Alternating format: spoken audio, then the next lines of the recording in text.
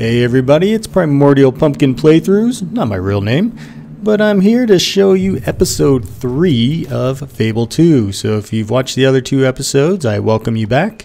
And if this is your first time joining us, then I welcome you front. Mm-hmm, mm-hmm. So we're gonna leave the old tomb area because last time I kind of missed a little dive spot. I said if I'd remember, we'd go back and see what it was. Um, I thought it might be a weapon, but we're gonna find out. Now, most of the dive spots, treasure chests, dig spots, things like that, have random loot associated to them by a loot table. So since this is like the beginning of the game, pretty much we'd be getting like level one loot, right? And it'd be randomized. But there are a couple of things that are very specific. So every time I've played this, there's always been a sword upgrade and always been uh, a ranged upgrade, we'll say, because there's the bows, the crossbows, and the um, revolvers and and rifles, etc. So there's different kinds of firearms or different kinds of ranged weapons. Usually, um, I've always ran into actually a, an upgrade for each of them. We only found the sword upgrade, the melee upgrade. Now here is a potion of life, so that's not the weapon. Um, again, if you watch the last episode, my dog's been kind of, well, let's just say he's unique. He hasn't been like the previous dogs I've had on different heroes in this game because he doesn't want to dig anything up. He must have been uh, listening when I told my other dogs that they were getting kind of annoying, barking every five seconds, wanting me to dig stuff up. So he came into this world like, how am I going to do that? I'm not going to ask you to dig anything up. So perhaps it was a dig spot that had the other weapon. We have an upgraded sword or an upgraded melee weapon. It's a cutlass. We uh, don't have the upgraded ranged weapon, but we don't really need it. It's just kind of nice to, you know, find upgrades. But we did get this Potion of Life. And a Potion of Life, as you can see, is a five star item. It's not a level one on the level one table. This is a big, big uh, find early on in the game. This will increase the length of our health meter.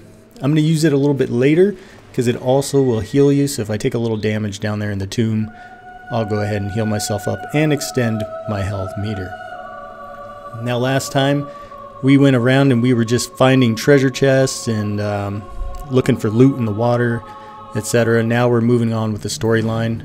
We have to come into the old tomb. Occasionally, you might see a black flash like that. I'm sorry about that. I forgot to run the this through OBS, so I tried to cut out as many as I could, but there's still a few in there. As you can see, my dog was uh, pretty scared in here, and all you have to do is go over to him and praise him and he'll Don't be alarmed. get in a better I'm mood. speaking to you through the guild seal. You will need to jump into that hole to continue. Don't worry. The water at the bottom will break your fall. All right. So we got to dive down there, which means there is no leaving once we start this. So we got to go all the way through to find our way out. Just glancing over here, you can zoom in like that with the left bumper and kind of take a close look at everything around you. It's again Xbox 360 game from years and years ago, 2008, I believe, but um, still worth looking at if you appreciate the uh, decor of the world. So anytime you dive down, always look behind you because that's the first thing you want to do. Usually, is just follow the golden trail and move on with the quest. I'm not that kind of player. I like to look around, and even though I've played this game many times, I'm going to look around uh, for you guys. And it's been a while since I've played it, so you know there might be things that I forgot.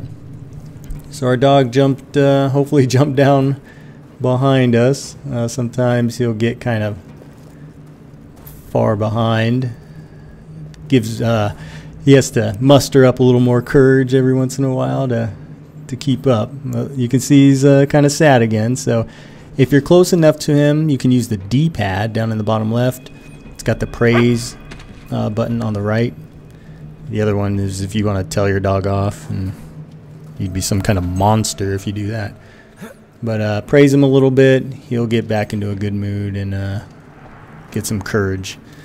So we're just looking around, but but when you do dive down from a high place like that, usually just go forward. You don't want to do that. Uh, you want to look around, see if there's any hidden things behind you. Here's our first encounter with the combat in this game. Now, the yellow button on the controller is Y, and that is uh, to shoot ranged weapons, while the blue button is X, and that is to melee. And you can see they drop different colors of orbs. Now there's green, yellow, and blue right now. Those green orbs hold the knowledge and experience of the creatures that you kill.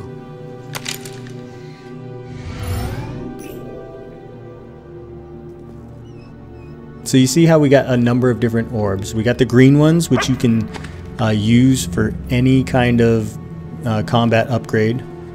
You have the yellow ones, which are specific to skill, the blue ones, which are specific to melee, and the red ones, which will be specific to magic. Um, we'll go ahead and use that potion of life now. Heal us up, extend our meter. There we go. Now the other thing uh, that the game tried to do was make it so it rewarded you for the type of combat that you do. And there we go. He's uh, he's at least decided to start alerting me to some treasure. He wasn't doing that the last episode. So something kind of reset in him. That's good. Now, um, how it rewards you is if you, let's say you just love melee, well, you're going to get a lot more blue orbs that fall with melee. And uh, then you're going to be able to upgrade your melee skills faster. So it kind of rewards you. If you like shooting a lot, then you're going to get a lot more yellow orbs and you're going to be able to upgrade your skill or your ranged um, your ranged talents a little bit faster. So it rewards you for the way you do fight.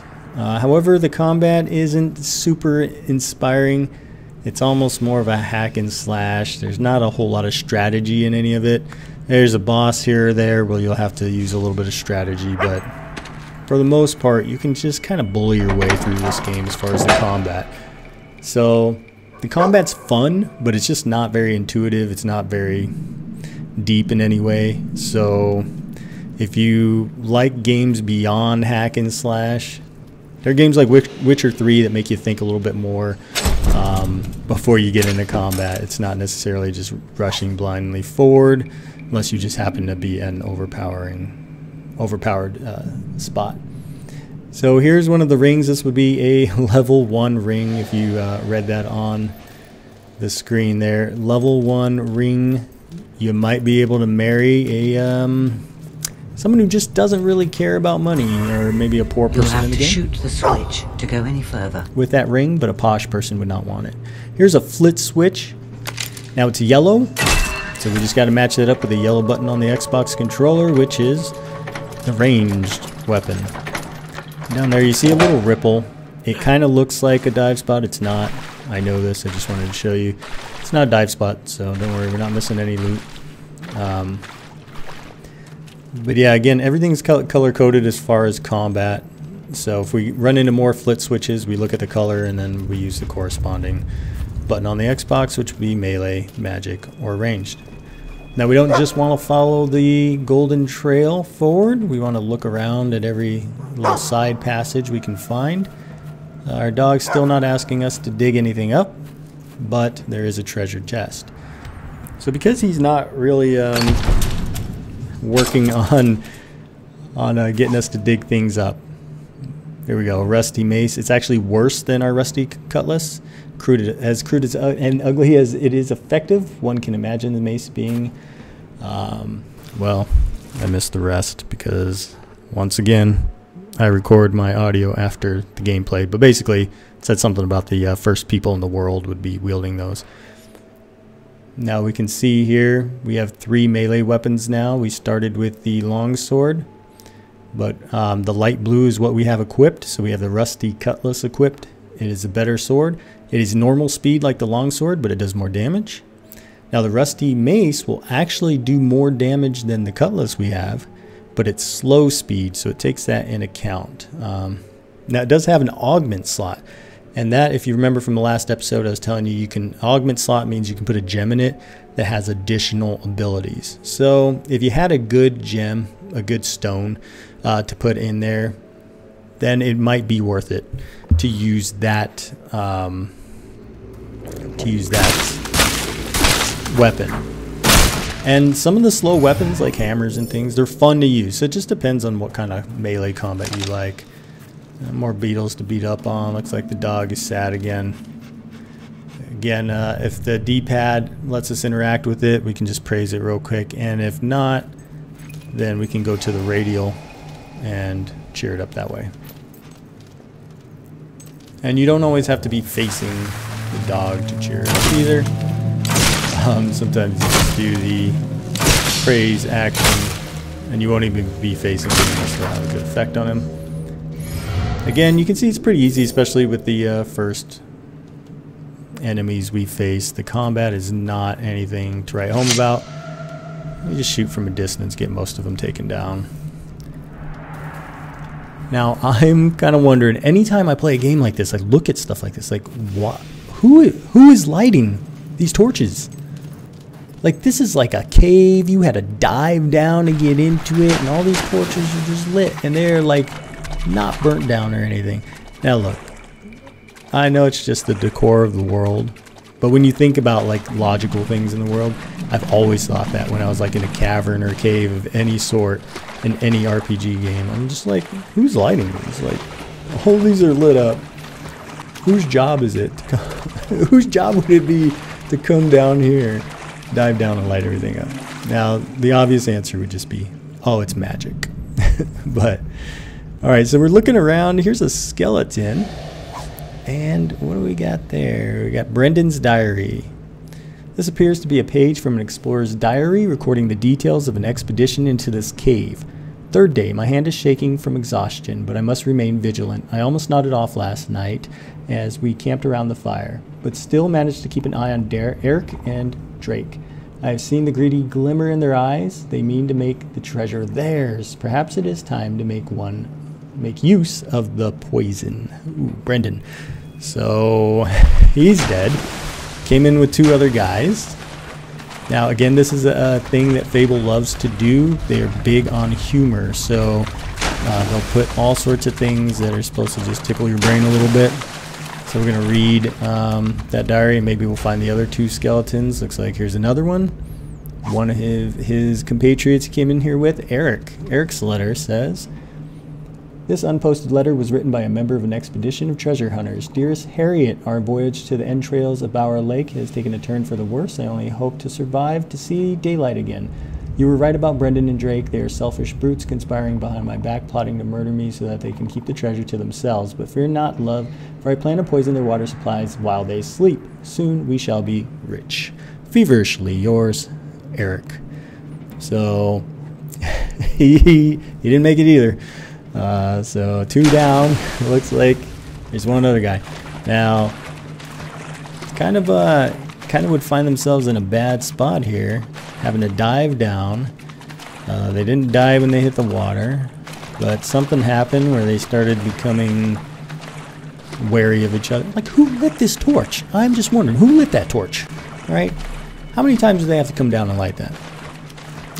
but anyway, um, these uh, three adventurers come through here. Now, if you're not looking around, you're not scouting out, you're not exploring, you're never going to find stuff like that, these little hidden gems. And again, this is a big part of this game is the humor. So it's not just meant for uh, just the straight storyline. Read stuff, read uh, tombstones and read uh, books and pieces of paper and all sorts of things that you find. And looks like uh, cool little mushrooms. And then we have a third skeleton. And here's Drake's suicide note. On this tattered piece of paper are the last words of one Drake Morton, explorer and treasure hunter.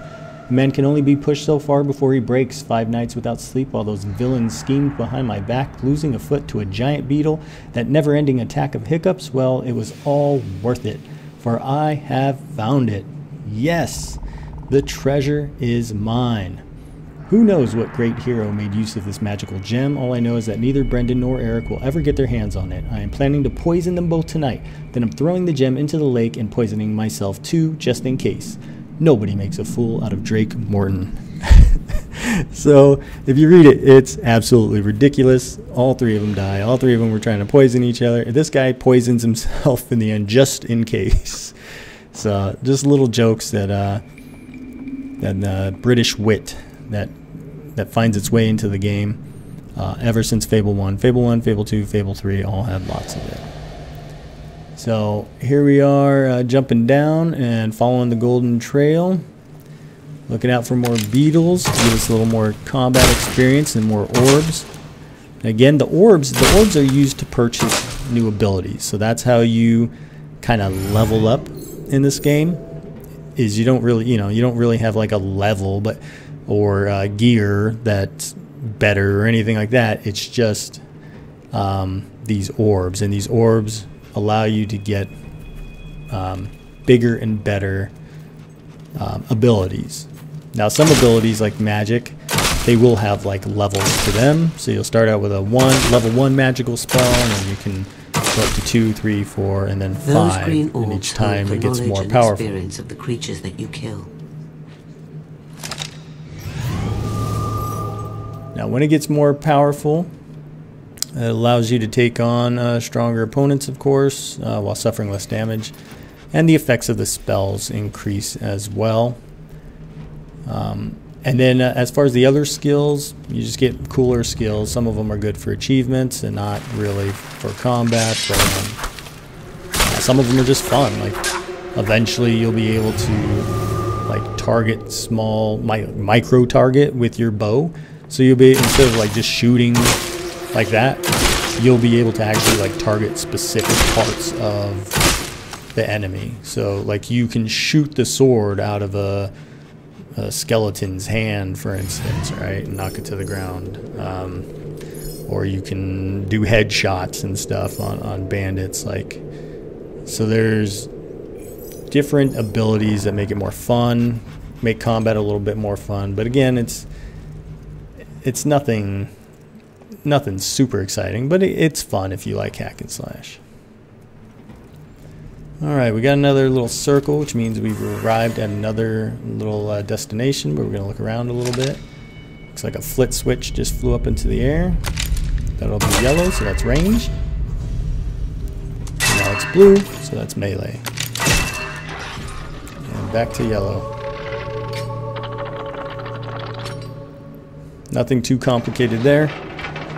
Uh, flit switches have played their part in in uh, Fable, and if we get the expansion on Fable 2, um, there's actually a lot of puzzles on this island that have to deal with flit switches, where they become a little more uh, a little more fun rather than just you know hitting them from from right there. So I'm looking at this because some of these will light up green and you can loot them. Usually they'll have books because they're old bookcases and stuff knocked down, some dressers and drawers and etc. Um, you take the book, you read it. Most books are just for reading, and then uh, they give you a little information, a little lore about the world.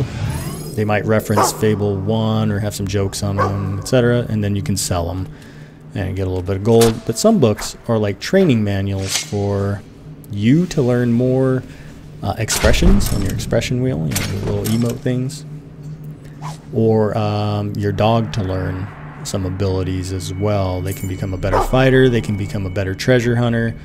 Uh, he still hasn't been asking me to dig anything up like he usually does, but um, as we let's read this. The end is almost nigh. This is a collection of predictions and doom mongering from the mystic uh, and soothsayer Arthur Dandelion. His more cryptic visions, such as the one about two brothers of little wit who shall release howling death upon a town of blood, have invited speculation and much shrugging of shoulders. Among his other prophecies is the one that foresees the invention of a machine that will aid in the cleaning of soiled garments. His most famous warning is the one that predicts of the end of the world. According to Dandelion, it will not come suddenly, but the ground shall shake, and the past shall erupt into the present in a most bloody manner. All right, so, and, and then it goes on. You can uh, pause the screen if you want to read it all, but there was a reference to Fable 1 right, right in that book. So, uh, we read it and then we sell it. Hero o- Oakvale um, this one again, you can you can read on there. This whole thing is a reference to uh, Fable One, and the battle you have with a with the boss. Uh, if you get Fable: The Lost Chapters or or the uh, remastered version they have, uh, Fable Anniversary. And so, for someone who's played Fable 1, this will make more sense, and it's just a little throwback. It's kind of fun to um, to read. But as far as uh, some of the other books, they're just they'll just give you lore about the world. So all the uh, three Fable games, the three originals, one, two, and three, um, they all have to do uh, they're all in the same area. They're all the same land. You start out in Bowerstone. You start out in another town. You go to Bowerstone, and Bowerstone is, you know, like just small and building. And then Fable 2 is a few years after that. It's a lot bigger. And then Fable 3 is years after that. You know, by a few years, I mean, you know, I, I think it's like 50 to 100 years between each game or something like that. So um, these are definitely they're kind of funny to read, or they give you the lore, so you can pause it and, and read it uh, before you go on.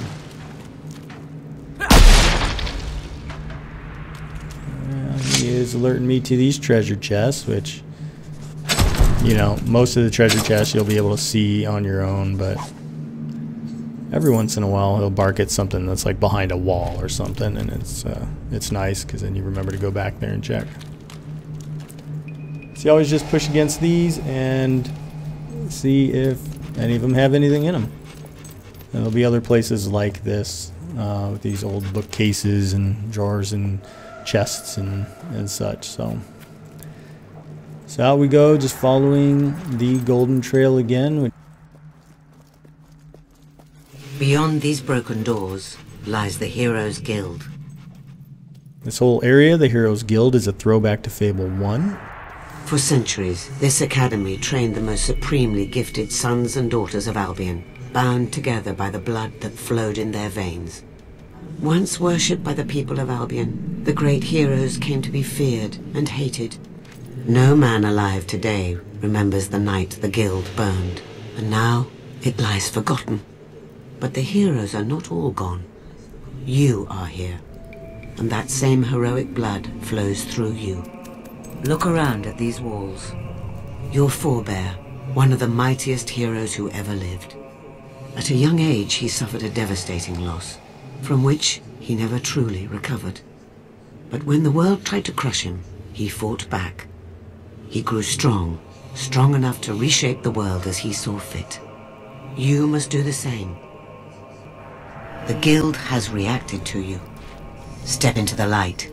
Learn the true power of heroes.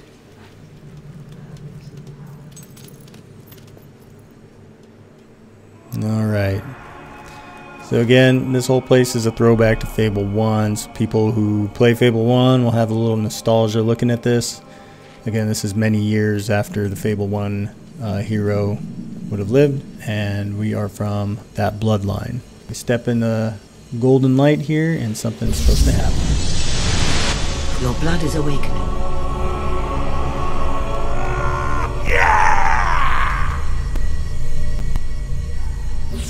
Now channel the experience you have collected into strength, skill, or will. Strength improves combat with hand-to-hand -hand weapons. Skill allows you to shoot faster and with greater accuracy. Will gives you control over the forces of magic. Before you is a Cullis Gate. It reacts to the will of one who seeks to use it. You have not been able to use will yet, but the simple act of reaching this place has given you will experience. You need to learn a will ability to activate the Cullis Gate. So will is just the name of magic in this game. Of course that one's red, our red button. Now use the knowledge you have gained so far to better yourself in strength, skill, and will. But we'll have to learn a magic spell, and I'll just let you hear about them. Shock stuns your enemies and blasts them with lightning.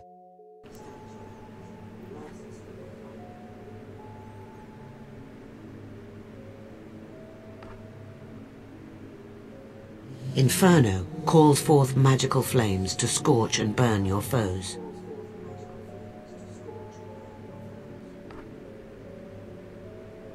Time control allows you to slow the world around you or to move with incredible speed.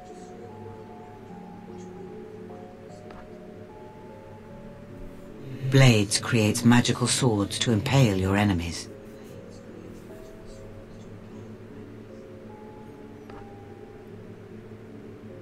Vortex creates a powerful windstorm that will pummel your enemies with nearby debris, or even other enemies.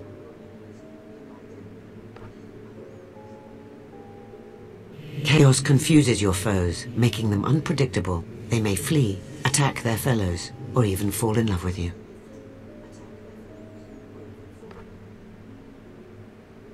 Force Push sends a blast of energy towards your enemies, hurling them into nearby objects. It is very effective in confined spaces. Raise Dead causes the bones of the recently deceased to rise and fight for you.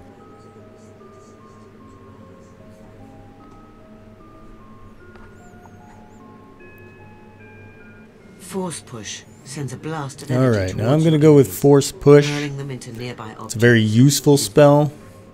It's a little bit different than the rest, and it's uh, I think it's the best for combat. Maybe not the most pleasing to use. It's fun to use like the lightning spells and stuff, but now we look, we got enough orbs to buy something else. See the blue orbs you can combine with the green orbs.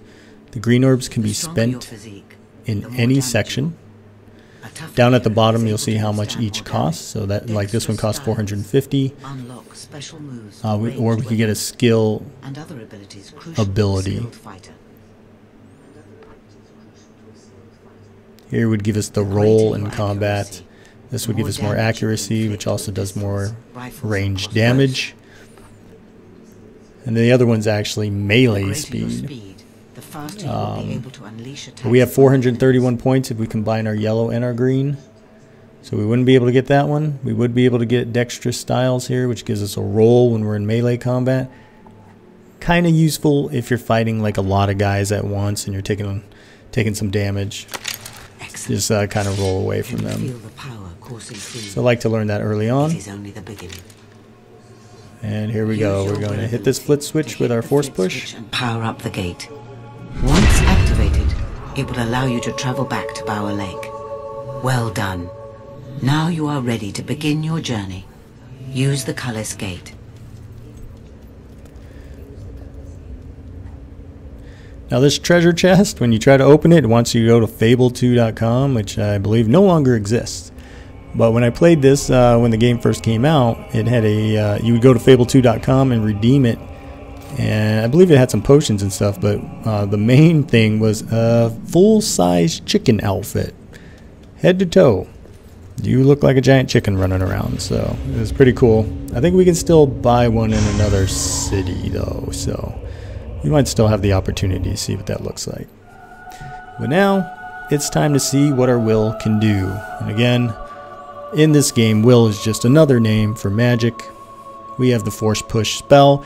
If we hold it down, it'll do an AoE, but you are kind of susceptible to being hit while you charge up that AoE.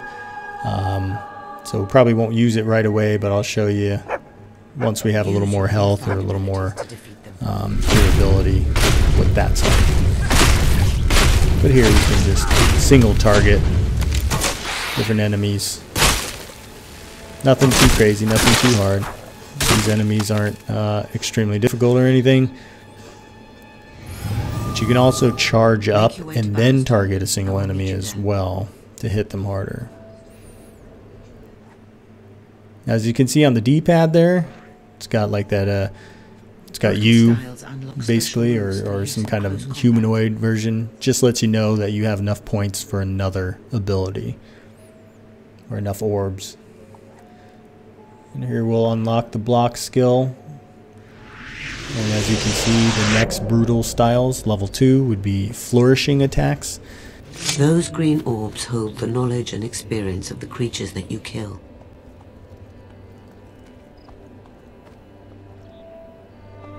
And again, uh, she says hold RT to collect orbs. That's what we've been doing.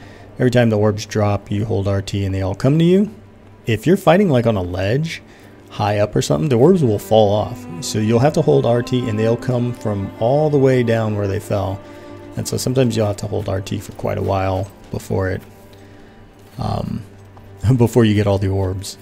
So if you don't like to waste the orbs, you want to hold it down until uh, you absolutely feel there are no more, no more left. Now again, we can go up here because the golden trail will eventually right itself and let us know where we need to go, just like that. Wanted to go through here because we still haven't found the rubber ball. There's a rubber ball you can find, play fetch with your dog, and it's over here somewhere, so... But you have to dig it up. Oh, there we go. So he finally decided, finally decided that, uh, that he's gonna um, lead us to a dig spot. And this is what you normally, like, we probably should have had about eight of those down there in the tomb, so. But we'll go back in the tomb. Actually, every time he levels up in his treasure finding, he'll be able to find treasure in spots that you have already gone by, so. Alright, so we found a little rubber ball to play. Fetch with him.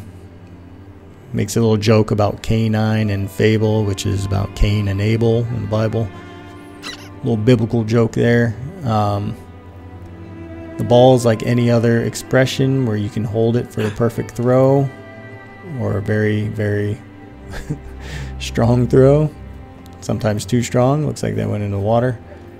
So we'll kind of come down here and just do a, a small little throw so you can see what it looks like when he chases the ball down. So instead of holding it down, I'm just going to tap it instead. When you tap an expression, um, it'll do like the weakest version of it. There we go. And it comes back and drops the ball. And now it's rolling down the hill. and it disappears. But you don't have to, uh, you know, catch it or pick it up or anything. It just, um, it's forever in your inventory now. So, uh, one thing I like about the Fable games is the moon, man. They just hit that moon just they do a good job. It's always big and full and just uh, looks great with the landscape.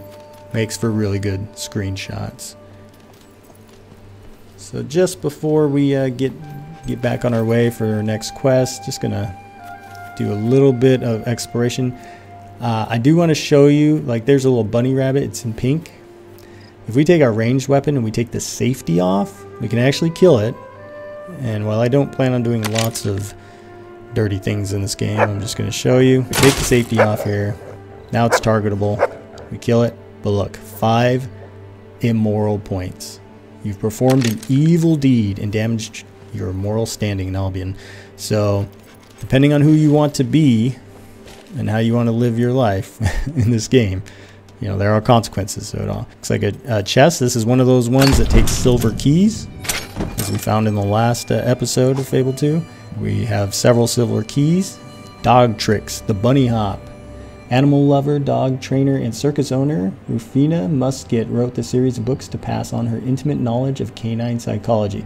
So basically, if you do one of the below um, abilities on your radial, dance, laugh, whistle, play the lute, uh, or strike a heroic pose, after you teach him. So we just uh, we just taught him the bunny hop. Now he will do a bunny hop if we do one of those expressions. So I'll do a dance here.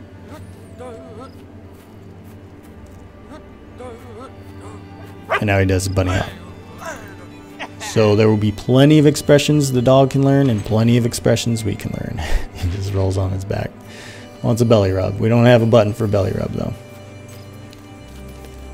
So, onward we go. Our quest objective is just up there, but I want to show you something special that's over here. That'll be a uh, recurring theme in the game. Just another thing to collect, for lack of a better word. But there are these, which are demon doors. Ah, is this a thespian appearing in our midst? Someone who has experienced life who can complement my words with a worthy performance? I am Albion's finest tragedian, author of 7,452 plays, and I am now putting the finishing touches on my crowning masterwork. Perhaps you could assist me.